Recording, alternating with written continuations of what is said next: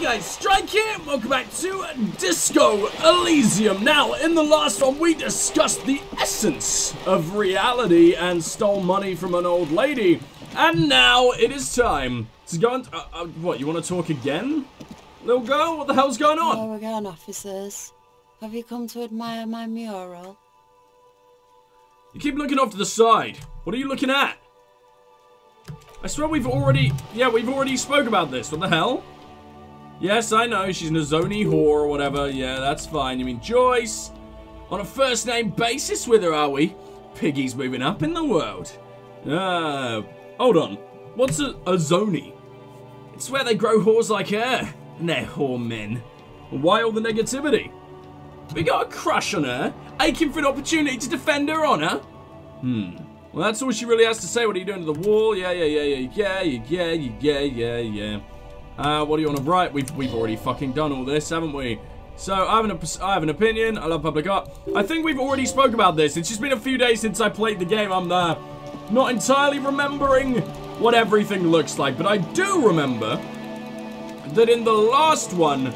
Well, wait, wait, wait, wait, wait. I've got a paintbrush now, right?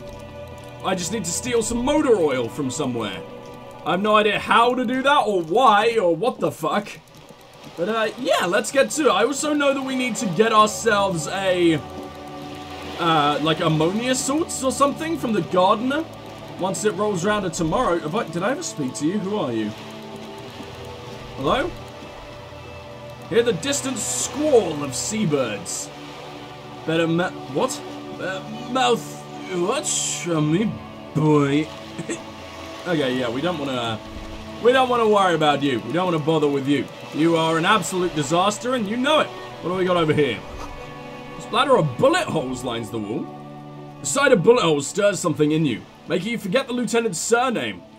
Okay. Look closer first. The fading marks are too degraded to draw any forensic conclusions. Just chips in the sandstone. They look pretty ancient. Hey, Kim! Look!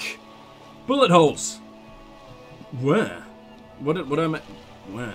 He looks around. Points the chips in the wall. Someone has been shot. We're cops. We should solve it. There. The, he looks to the wall. Those are old. Oh, you mean like from the revolution? Yes, the one that happened half a century ago. He blinks. Those bullets were fired during the revolution and do not warrant an investigation by officers of civil law. Okay, well, uh, tell me more about this revolution. Not much. I don't have a fresh perspective on it. Should we go? Yeah, alright, but I mean, thanks for the XP? XP for teaching me literally nothing? Don't really know why that happened, but I'm not gonna complain. Hmm.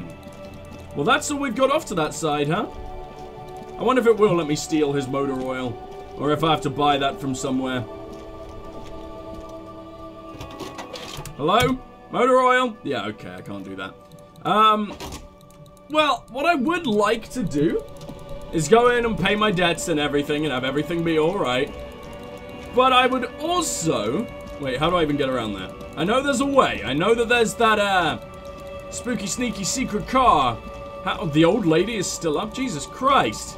Still reminiscing, girl? Is that screen tearing? How the fuck is that even happening on a game like this? Hello. Yeah, yeah, look in the window. Uh... What about the back seat? But... I could have sworn this is... This was the truck we were going to investigate. The racist asshole isn't still around. What? I actually have to like... Hello, sir. Do, do, do you mind if I, you know, just break into your, into your truck a little bit here and bust you for all the fucking drugs? Really? We have to ask permission to do that. Sure. Hello, lady. Can I talk to you now that it's the middle of the night? Uh, I guess I'll snap my if fingers in front of her want her face. attention, You may need to be more forceful. You didn't tell me. You told me not to talk to her last time. Guess we'll do it Where again. am I? Who are you? Like a magician recalling a subject from hypnosis. You've jolted her back to reality. Hmm. Smile on her face has disappeared, replaced by the wary aspect of a cornered beast. Uh. Are you alright, Mom? You were out. Never mind. I remember now. I'm still stuck in the traffic jam. In the 50s. She adds with contempt. Uh, Where else would you be then? Back in Mesque, during the time of the revolution, the sidewalks and coffees are filled with young people. I was on my way to see a new Boiadeiro picture starring Gabriel Buenguerro. Oh, the voice acting's ropey, isn't it? But oh well, there's just no emotion in it. it. It's like you found a random old lady who's never seen a computer before and asked her to read some lines. Until you come along, that is. For the magical screen games. Uh, the look she gives you is accusatory. It didn't fucking sound accusatory. Ah. Who's Gabriel Buenguerra? This is Gabriel Buenguerro. She shows you the photograph in the lavish amber frame. He's a strikingly handsome man. Oh, sorry, a strikingly handsome man looks straight at you. His head crowned with a wide, wide-brimmed hat. His hair is dark as an oil slick, and his his is what? His is jaw. God, how have they not fixed this yet? His jaw is the most perfectly chiseled thing you've ever seen. This man's got a hold over her, even 50 years later. You can feel it. He it. was the biggest star of his day. Girls used to faint in the aisles of the cinema whenever he came on the screen, and a schoolboy used to memorize all his lines. She leans back, savoring the world she's conjured up. In all likelihood, it's a world that only ever existed in her mind. Damn. So I take it you're in Mesca when you were young. Someone was. She nods as though her meaning were perfectly clear. Ah, it's someone. Are these not your memories? They are someone's memories, boy. What She gets gruff suddenly. if it's me or not? They are beautiful. That is all that matters, beautiful and true. And they will win. They are coming for this, you know. All of this. She looks around. What the fuck? What? what the hell is going on? She seems to derive some bitter pleasure from this strange thought, as if the past will one day wipe the present away, like a tidal wave approaching. But what does she mean, someone's memories? It, it- she's making it sound like she fucking murdered someone and sucked out their brains. You goddamn drowsy. Okay, uh, sorry to interrupt your dreaming, man. I wasn't dreaming. I was there, low man. It was early spring, and the mine and the black sun had just come out. The posters were 20 meters tall. Meters. Everything was gold. Her eyes narrow as she appears to take your measure. Like you people were tearing each other apart over your petty little revolution. In that case, it was a golden age. The Republic of Mesca is a massive confederation on the Isola of Mundi, the world's largest state by territory. A Petrostate, a constitu- constitu- constitutional monarchy, there we go, and as of recently an outcast due to its tilt to the far right. That doesn't sound like much of a golden age, old lady. Right, I have some other questions for you, uh, Why police not, questions. Rifa? It's not like I have anything better to do in this hellhole. She settles back against the railing of her motor lorry. Behind her, mountains of memorabilia, photos, and knickknacks line the dashboard. There's something off about this woman. Tell her to show you the soles of her boots. Maybe she's in. Maybe she was at the hanging somehow. Hmm. True, but I can't really ask that just yet. It seems a little too weird. You seem like a woman who knows a thing or two about drugs. Brilliant. Uh, well, before I came, you seemed away. She's just a distracted old woman. Maybe we should let her get back to her things. So he doesn't think she's the smuggler. Hear that, lawman? I don't think your partner likes you spending too much time with me. Hmm. Wait, why is that, Lieutenant? Nothing. I just don't think she's connected to anything. He doesn't want your frail mind getting caught up in something here. Something unconnected to the case. But connected this woman connected this woman tuning out like that? What the fuck does that mean? Should you drive a lorry if you get like that? Oh, don't worry about me. I'm one of the best camioneers, around. I drive routes no one else will. What routes? Uh, Lomonosnov, Lomano, Lomonosov land. Udaknyaya, Zemilia. Welcome to the series where I just butcher absolutely every word in the fucking language. The Western Plain. She nods and closes her eyes again, letting her mind submerge. The Transcatla Magist- Magi- Magistral, U41A, as Estradas do Mirador. All the good ones. The deep trenches where bluebirds fly. She opens her eyes again and shudders. Well, I'm something of an expert in blacking out. You should take better care of yourself. Cool, right until you dust, sister. Let's go with that. Oh, I don't know what that means. She breathes out. I already am dust. I still don't really understand this whole Boiadeiro Gabriel Buengre- Buengero thing. Of course not. To truly understand the Boiadeiro, you need to listen to On the Western Plain. A Boiadeiro, or Boer for short, is a cowherder from upstream Magritte. Magritte, uh, yeah. The great steppes of the northern Mesca. People like Manana at the, at the gates have turned it into an ideology of sorts. Okay, what's that? It's an old ballad about a young girl who falls in love with a daring Boiadeiro. He promises to marry her as soon as he returns from the Western Plain. I'm guessing that doesn't happen. Of course not. Boiadeiro has returned from the Western Plain a changed man. One night, as, as he is his beloved, fuck me, as he and his beloved are walking along the River Magritte, she pleads with him to give up his riding and settle down. In the background, you can hear the orchestra swell as, the screen fills with the maiden's imploring eyes. I think I see where this is going. So the Boiadeiro strangles his beloved and throws a body in the Magritte and rides off because the Western Plain is calling to him. Oh my god, a beautiful song? That's not where I thought that was going. You have to understand, a true Boiadeiro needs the whole horizon to himself. He can't be tied down by man or woman. His beloved was selfish. She didn't know what it was, what it meant to love a Boiadeiro. He murdered her, you fucking psycho! What if to truly love a Boiadeiro is to float lifeless downstream? Well, show me the soles of your boots. Now, what do you want with an old woman's boots, Serife? Ah. It's important for police business, Mum. She raises her boot, slowly and with contempt. I'm starting to think she let me get back to Gabriel Buengero. You're no Gabriel. She's wearing sturdy worker's boots made from black leather. Buckles run across. The sole is made of leather. Now the other one, please. Just before Gabriel, it was the coronation of Frank Candiero. Now there was a real man. There was no aberration in the pattern you could see. She puts her foot down. Moreover, the boots were size 37. Oh, tiny, okay. There are too many discrepancies in all of this. Another discrepancy, although not boot related, is the coronation of his Innocence Franconiero, uh, which happened 500 years ago. Hmm. She's not odd soul. These are not the boots that made the prince. Actually, let's ask that first. It was. She shrugs. And then it was no more. And I no longer hold. And I was no longer holding my father's hand. It was no longer descending into the stairs in Rael. The crowd had gone silent. Perhaps it was another Zirife who came and woke me up, looking at my boots, asking questions. Or perhaps it was one of the others in this carnival. I don't remember. As she says, carnival, she gestures to the empty square with the statue and the machines. Uh, she's not odd soul, Kim. These are not the boots that made the prince. He takes quick note. I could have told you from just from that from just from looking at them. Her size is 37. Feet of a little girl. She smiles. They will fit well on the pedals. Hmm. So what are you hauling? Diamonds. Diamonds? Really? Of course not, she says, grinning.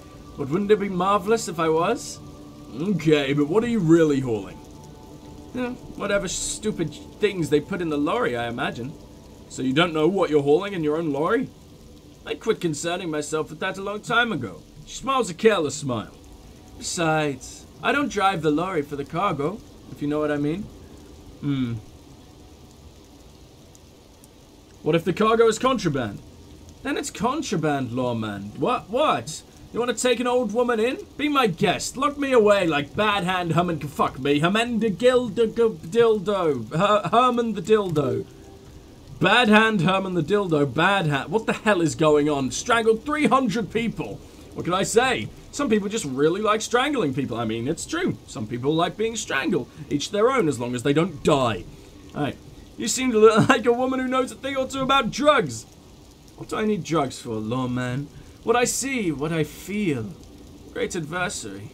No drugs can compare. Hmm. The adversary, huh? Yes, there's a protagonista. She gestures to the intersection. And an adversario. I am on the side of the adversary. There's no coming back from that hole. Those epithets are familiar somehow. Great adversary, the great unrest. Hmm. That's not really what I was getting at. And what were you getting at? This line of question is going nowhere. Try harder! Maybe if she thought you're corrupt? Hmm. Evrart sent me. Who the fuck is Evrart? The, uh, the union boss?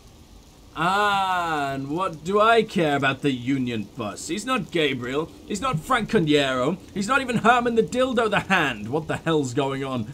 Okay, well, let me put this another way. Are you smuggling drugs through Terminal B?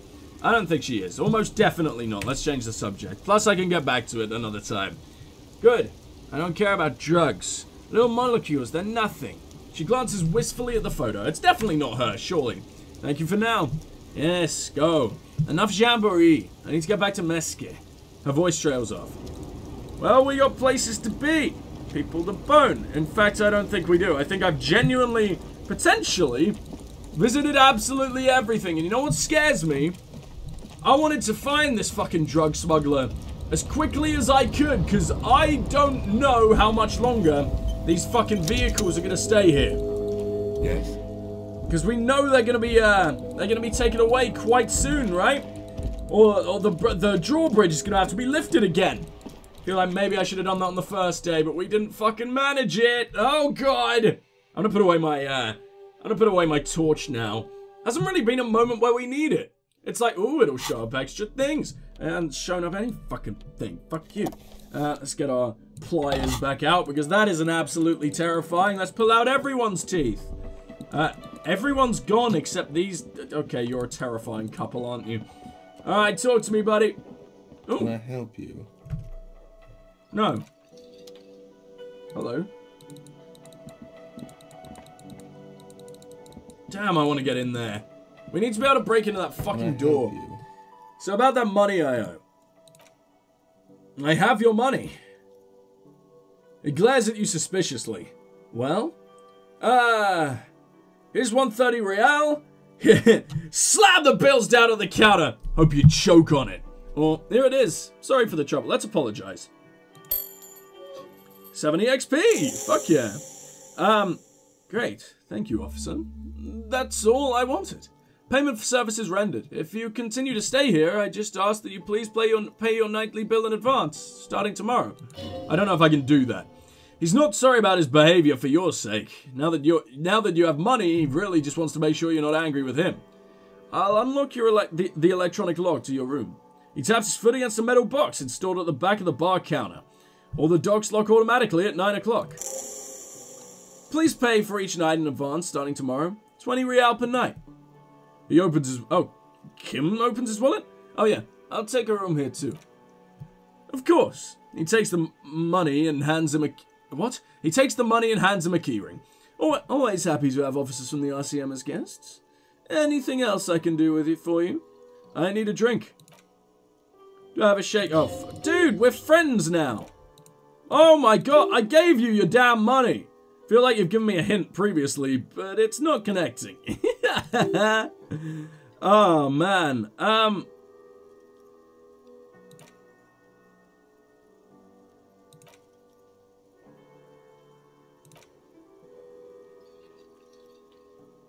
I really want to get into the door. Fuck it. Okay. Um, well, let's level up. What do we want to level up? I really don't know. I want to start becoming an expert in things rather than damage controlling in the things we suck at. So, maybe I'll bring authority back up to five. That's damage control again, dude. What are you talking about? Um, what's rhetoric like? Means we're hard-headed as hell, and no one can change our mind, which I don't necessarily want. Uh, what does this do? Blinded by my own brilliance. Yes, let's not do that. Uh, drama, though.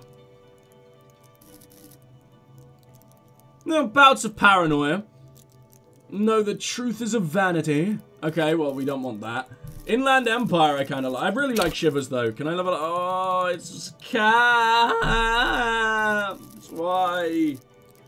Why? Okay, then let's upgrade Suggestion. It's, uh... It's our special skill. I don't care how slimy we are. Let's absolutely take that. Uh, goodbye, sir. I'm gonna make my way upstairs. We still don't have a a karaoke song, which is a shame. Hell, I'd love to run around more, to be honest. I'd love to explore more, but I feel like this is the time I'm supposed to go to sleep. Is everyone's gone. I've explored everywhere as far as I know, or at least everywhere that's accessible right now. And we ain't finished just yet, so can I knock on your door at 2 a.m.? You're a horrible person, me. That's gonna terrify her in the middle of the night, but oh well! Alright, well let's, uh, Kim. Kim, do you wanna... Do you wanna not come in my room? You creepy bastard? Ah, there we go. It's the door to the room you redecorated. Good night, Lieutenant. Just a moment. We should talk about our progress on the investigation. Let's go out to the balcony. Yeah, you got it, man. Let's go. I wonder if I didn't get my shoe here, I would have just been walking around all day with one shoe. That would have been the most professional thing I've ever done. Probably would have been looked more professional not to wear shoes and just claim it's a religious choice. The air outside is brisk. The lieutenant is silent for a moment. He listens to traffic hum and then. Now then, we should talk about the investigation. But I also feel you're a bit hazy on the RCM. Our role here, our rights, our jurisdiction, basically. I was thinking I didn't know he smoked, so let's talk. I have a cigarette every night when I go over my notes. It's something of a ritual. Ah. I don't want to be a smoker. Right then, debrief. Yes, he pulls on the cigarette. It's been a long and eventful day. Alright, well, how do you think today went? Well, you were so hungover that you couldn't keep it down when we approached the hanged man, so we didn't even expect the body. But we performed a thorough search of the premises of the crime scene. That's great. Though you really dropped the ball on expecting the body, doesn't want you to feel too discouraged. Probably out of fear that you'll just give up and keep drinking. Ah, I generally prefer to start with searching the scene and then move on to dealing with the dead bodies. It's not my job to evaluate your methodology, officer. I'm just going through the facts. As for the interviews, we conducted an interview with Evrart Claire. He wasn't particularly forthcoming with useful information, however. He's not saying much on the matter because he thinks you could have got more from Evrart. Well, I'm sure I can get him to tell us more. But I also helped you, uh, how should I say, remember your name. That's a relief. Uh, I don't know how I feel about my name, actually. That's normal. It's best not to give it too much thought. We tried to interview the Wild Pines rep, but she asked us to do something for her first. Fine, so be it. He purses his lips. I have a feeling Joyce knows how dangerous the situation really is. We have to get her to talk to us. If Kim is emphasizing something this much, it really must be important. Above all, though, today was exhausting. What's with all the running? You run a lot. Is that standard Precinct 41 practice? Yeah, it's part of the Jamrock Shuffle. I don't like to waste my time, you know. My mind moves fast, the rest of me has to keep up. Uh... Aww! Or we could raise money for charity. Nods thoughtfully, tapping his finger on his cigarette. It's impressive, especially for a man your age. And in those heels. he looks at your snakeskin shoes and smiles suddenly. Nice shoes, by the way. I like the green. Those are the orange. So, uh, what are our powers exactly? The RCM. They're quite limited, actually. The power officers... What? The power officers? Sure. Of Revachol's citizens militia exercise most are frequently is imposing fines of up to 1,000 real for offenses in accordance with a more with an interdepartmental schedule. Uh, 1,000? Why not more? The RCM's primary role is to ensure safety. We're not really supposed to play any part into the economic structure of Revachol. Wouldn't that be an easy power to abuse? Yes, although indirectly. The citizens can always request records from their local station. Officers of the RCM have been known to take bribes of less than the prescribed fine amount. He frowns, it undermines trust in the RCM. Okay, well, what else? We can arrest people, of course, but rather than bringing someone in directly, it's preferable to serve a, a station code slip. It prevents confusion and overcrowding. Wait, so how can you be sure the arrestee will show up? You can't. Those who do show up become fugitives, though, and have fewer. Those who don't show up have become fugitives, though, and have fewer legal rights when they are eventually caught. It's about pro- it's about power protection, projection. Sorry. Thus far, they seem to mostly show up. When power calls you, you come. But power itself is a fragile trick of perception. I see. And if someone resists, as you may have gathered from the fact that we are uh, expected to carry a record of our kills, like the one in your watermarks, we're permitted to use whatever force is necessary, and strongly admonished not to abuse that power. Wait, so if I kill someone while on duty, you have to supply compelling evidence so it was necessary to use lethal force. In these cases, your partner is usually your witness. Not a good position to be in, by the way. Internal Affairs handles these cases thoroughly by cross examining you for inconsistencies. It's hard to cover for anyone, which is for the best. What happens to the people we convict? We don't convict. We arrest and send them to the coalition government courts in Quoron and La Delta. The prosecution works off our testimonies and records, which is why it's paramount to keep them. He taps on his coat pocket, where he keeps his notes. And it's the coalition government that makes all these rules. Oh, fuck, open my fucking windows. Uh, and the Moralintern more broadly, but yes. His gaze is absently fixed on the window below that just went dark. Hmm. The Moralintern? What is that? The Moralist International are the world's largest political organization. He pulls on his cigarette. You know who they are? They run this place after the revolution failed. If I didn't know, how would you describe them? They're a union of center left and center right parties across the Real Belt. Our coalition government is just one of its many projects. They also run the ICP, the EPIS, most intergovernmental uh, organizations in the world. EPIS. Next generation of porn. Okay, what do they believe in? What do they believe in? The Dolorians. They believe that they can. They believe they continue the humanist project set forth by Her Innocence Dolores DeFore, Dolores Dei four centuries ago. Others say they're just technocrats. Those others say they continue the humanist project set forth by Dolores. Well, what's the, what is their symbol? Interesting question.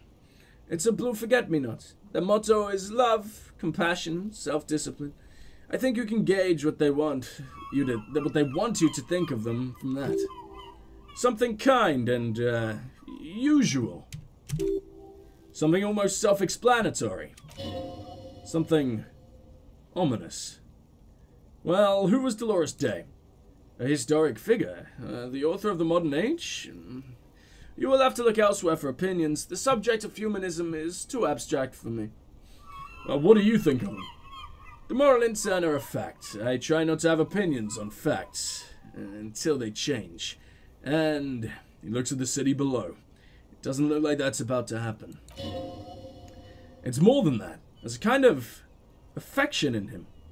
You like the Moralintern? Yes, um, I did. When I was younger, in my twenties, I considered myself a moralist. A blue forget-me-not, a piece of the sky, he quotes. They're not all that bad. That's another leitmotif associated with moralism. Okay. But the years have changed that. I don't know what I believe in now. He thinks, then changes his mind. No, I believe in the RCM. That's enough for me. I have an opinion on the Moralintern. Do you? Lieutenant arches his brow, then pulls on his cigarette. It's a slim white thing in his fingers. Okay, thank you for describing what a cigarette is, game. I'm sure we all needed that. To all the babies out there watching who have never seen one. Right, things are bad out here, points the city. We need him here, giving us the right to police Revachol, or... Hmm. Oh my god, immigrants, liberal kids, fucking men are turning into women? Jesus! No! Uh... They've done an awful job here. Have you seen the place? This isn't humanism. We are in what is called the twilight of international law. The laws we claim to enforce come from the MI. Without them, we are simply vigilantes. Actually, vigilantes is okay with me. And you will adore Martinaise. For many of these people, the Union especially, vigilantes is precisely what we are. Personally, I don't enjoy it much. He looks at the roundabout. Say nothing. Stare off into the night. The dying lights of the city shimmer below. Slowly, like luminous clouds, they pass on his lenses. The lieutenant looks at his slim cigarette, contemplating the next drag. The soldier is the highlight of the day for me, he thinks. This little stick right here. An aerostatic passes overhead. The whiskers of floodlights on the ground below. Kitsuragi's glasses light up as he looks to the sky, two glowing circles. Finally, he pulls on the cigarette and says, They really don't like us here. And the mouth on that kid, Cuno. It's different in land, in Jamrock and the GRAH. Why are they like this? It's our fault for leaving this place to the dogs, to the Union, to the company, to not daring to come in more often. This place has fallen between the cracks, the jurisdictions of our two precincts. And in Jamrock, and the GRAH, he looks at the dark silhouette of the equestrian monument cutting into the night sky and says, We run this city. West of the river is RCM land. It's incredibly hard. Human beings are. He shakes his head. We are in control, and it's worth it. The organization works. Our systems work. If they didn't, the city would disintegrate. Night. Captain Ptolemy, I guess that's how you say that, Pryce steps into the yard. A piebald horse waits by the motor carriage, chewing oats out of an oat bag.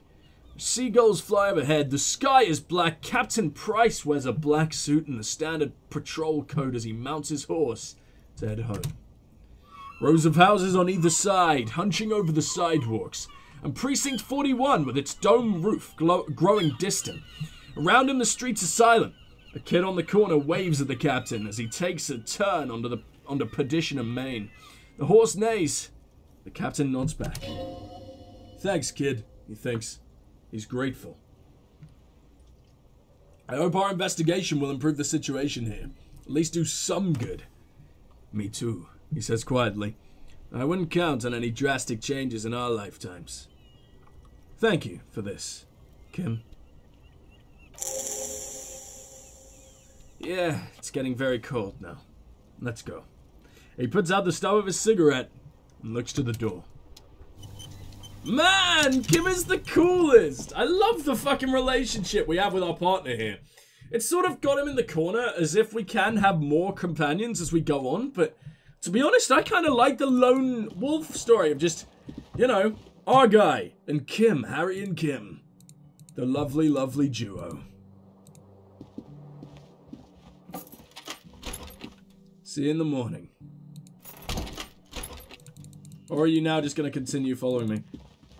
Uh, uh, oh, oh, in he goes. I wonder what would happen. Can I knock on his door? I guess I can now go and go off and do shit on my own. Which would be the time where we get absolutely wasted and high and everything. But I'm not playing that kind of detective now. Then again, I feel like we're going to have horrific withdrawal symptoms if I don't. But I, I, where are we going to get him in the middle of the night? I'm sure we can. Probably from Cuno. But I'm not going to fucking bother doing that. Is this our bed? Hold on, our hotel room just doesn't have a bed. Yay, that makes sense. Yeah, let's not let's not do any of that because I'm I'm so used to this ceiling fan actually murdering me. So uh, can I look in the uh, in the mirror again? Use your chain cutters to fix the faucet. Stop steam from fogging up the mirror. Okay, I can try that. Why the hell not? That's an interesting one. I didn't expect that. And I fucked it up, and we probably killed someone.